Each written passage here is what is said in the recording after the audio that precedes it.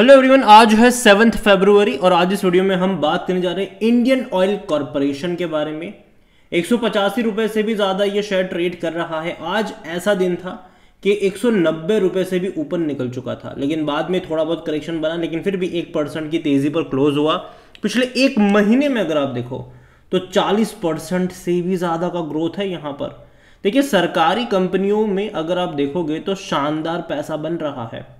एक महीने में इंडियन ऑयल कॉरपोरेशन में 40 परसेंट का ग्रोथ है। एक साल में 135 परसेंट का ग्रोथ है। लेकिन अगर आप देखोगे तो जो तेज़ी आई है, वो नवंबर से बनी है। नब्बे रुपए का शेयर था नवंबर में और तब से लेकर अब तक दो गुना पैसा यहाँ पर बन चुका है तीन महीनों के अंदर। और ये सिर्फ़ इंडियन ऑयल की ही बात नहीं है। सेम चीज़ बीपीसीएल के साथ भी है।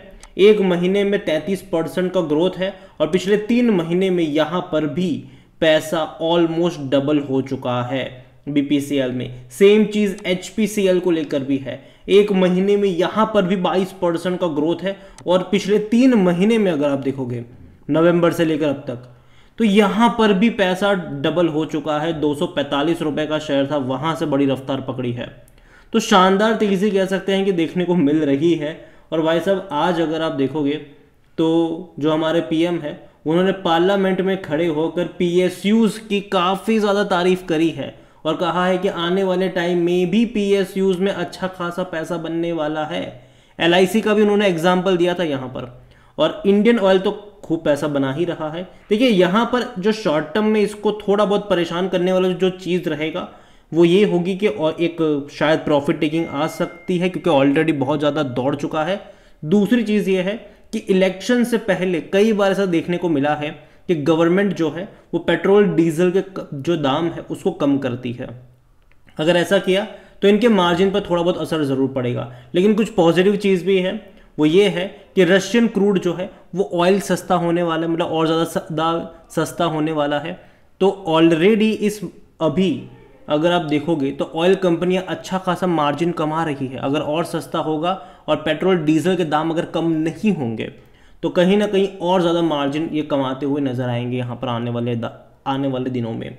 देखो, अब ऐसा नहीं कि जब तेज़ आई तब मैं बात कर रहा हूँ। अगर आप चैनल को रेगुलर फॉलो करते हो तो कई सारे वीडियोज़ हैं मेरे इन कंपनियों के ऊपर, चाहे वो इंडियन ऑयल हो, चाहे वो ओएनजीसी भी क्यों ना हो, या फिर चाहे वो बी ही क्यों ना हो।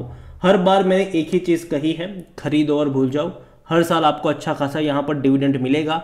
और जब सस्ता मिले तब तो बेहतरीन मौके बनेंगे। और ये मैं कई बार बोल चुका हूँ। अगर आप देखोगे तो अभी इंडियन ऑयल पाँच साल के सबसे हाईएस्ट प्राइस पर है और इवन मैक्सिमम जो इसका प्राइस है, वो अभी ही है।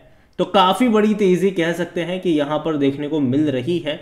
कंपनी का अगर वैल्यूएशन देखा जाए तो जो पी रेशियो है वो पाँच का है, जो कि अभी भी कम है सेक्टर पी बाईस के मुकाबले। तो वैल्यूएशन के हिसाब से ये कोई महँगा नहीं लग रहा है। चालीस का सॉरी चालीस परसेंट एनालिस्ट कहते हैं कि खरीदारी करो। फाइनेंशियल्स अगर आप इनके देखोगे तो काफ़ी अच्छे हैं। आप देखिए दिसंबर क्वार्टर के भी जो नंबर आए हैं रेवेन्यू बहुत अच्छा मतलब देखने को मिले हैं। दो लाख करोड़ से भी ज़्यादा का इनका रेवेन्यू रहा है और नौ हज़ार करोड़ से भी ज़्यादा का प्रॉफिट है। तो देखिए, जब से यहाँ पर रशियन क्रूड इम्पोर्ट करा जा रहा है, कहीं ना कहीं कह सकते हैं कि मार्जिन बेहतर हुए हैं इनके। और दूसरी बात, जो दाम है, वो बढ़ ही रहे हैं। जो पेट्रोल, डीजल के कह लो दाम वो बढ़ ही रहे हैं। आने वाले टाइम में अगर मान लीजिए कि इलेक्शन को ध्यान में रखते हुए अगर गवर्नमेंट दाम कम करती भी है तो वो टेम्पररी तौर पर उनको थोड़ा बहुत झटका लगेगा। लेकिन लॉन्ग टर्म के लिए, के लिहाज से अगर मैं बात करूँ तो मुझे ये कंपनी मतलब अच्छी लगती है। और इंडियन ऑयल कुछ ज़्यादा ही पसंद आ रही है। रीज़न ये है कि इंडियन ऑयल को आप सिर्फ़ और सिर्फ़ पेट्रोल, डीजल तक सीमित नहीं कह सकते हैं। ये कंपनी गैस में भी है इसके अलावा ईवी e को लेकर अगर आप देखोगे तो कंपनी ने अपना बहुत बड़ा एलोकेशन इलेक्ट्रिक चार्जिंग स्टेशन को सेटअप करने में भी करा है। इसके अलावा ग्रीन हाइड्रोजन को लेकर भी कंपनी सेटअप कर रही है। तो जो अल्टरनेटिव फ्यूल रिसोर्सेस है, वहाँ पर कंपनी हैवीली इन्वेस्ट भी कर रही है।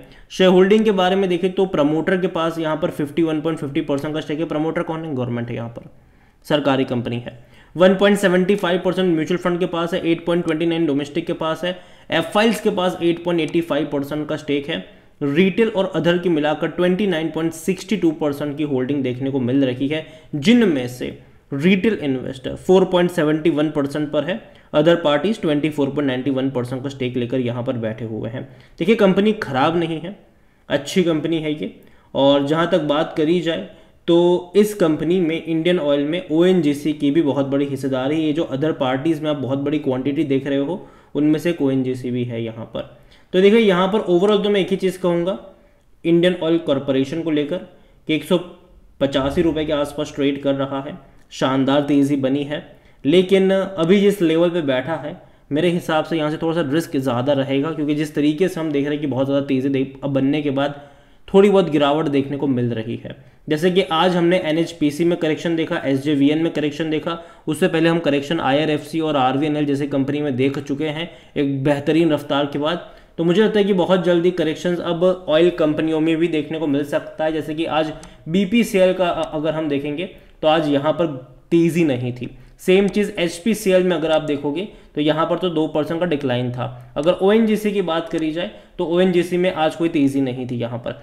तो हो सकता है कि शायद थोड़ा बहुत करेक्शन यहाँ पर बने, लेकिन अगेन मैं कहूँगा कि यहाँ पर हर 10 परसेंट के डिक्लाइन पे धीरे धीरे धीरे धीरे ऐड करने के जो मौके हैं, वो आपको यहाँ पर ढूँढने चाहिए। कंपनी बुरी नहीं है लॉन्ग टर्म के लिहाज से मुझे कंपनी अच्छी लगती है। लेकिन जैसा कि मैंने कहा कि शॉर्ट टर्म में कुछ कुछ चीज़ें इनको परेशान कर सकती है और वो इलेक्शंस को लेकर हो सकती है।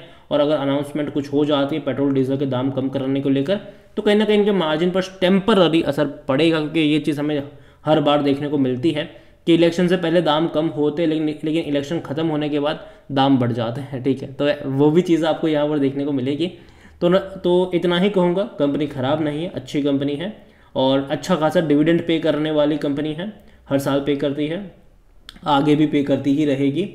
तो आप इसके ऊपर नज़र रख सकते हैं, और सिर्फ़ यही नहीं इसके अलावा ONGC भी मुझे अच्छी लगती है ये कंपनी तो यहाँ पर भी अगर आप चाहो तो नज़र रख सकते हो। देखो, मैं ये नहीं कह रहा हूँ कि अभी खरीद लो। नहीं, यहाँ से दस परसेंट का डिक्लाइन आता है, उसके बाद बाय ऑन डिप्स के मौके आपको यहाँ पर ढूँढने चाहिए, क्योंकि मैं पहले ही बोल चुका हूँ कि करेक्शंस देखने को मिलेंगे यहाँ पर, क्योंकि ऑलरेडी बहुत ज़्यादा तेज़ी ये दिखा चुके हैं ये शेयर्स जो चीज़ आपने पहले रेलवे में देखी कि बड़ी तेज़ी के बाद करेक्शन आया, जो चीज़ आपने पावर में देखी कि बड़ी तेज़ी के बाद अभी थोड़े बहुत करेक्शन चल रहे हैं, वो यहाँ पर भी आपको देखने को मिल सकती है। लेकिन लॉन्ग टर्म का आउटलुक पॉजिटिव होगा तो नीचे की तरफ़ आपको एवरेज करने के मौके ढूँढने चाहिए यहाँ पर, यही मैं कहूँगा। बाकी मर्ज़ी आपकी है, कोई बाय सेल रिकमेंडेशन नहीं है वीडियो को यहीं पे एंड करता हूँ। पसंद आया हो तो लाइक करें शेयर करें चैनल अगर पहली बार हैं तो प्लीज़ सब्सक्राइब करें। और इंडियन ऑयल कॉरपोरेशन के बारे में आप क्या सोचते हैं, वो भी आप मुझे कमेंट में लिखकर बता सकते हैं। इसके अलावा अगर आप चाहते हैं कि मैं O N G C H P C L या बी पी सी एल के ऊपर भी एक डिटेल वीडियो बनाऊँ तो कमेंट में इसका भी नाम लिखेगा, जितनी ज़्यादा कमेंट आएगी, उतना जल्दी वीडियो आएगा। Thank you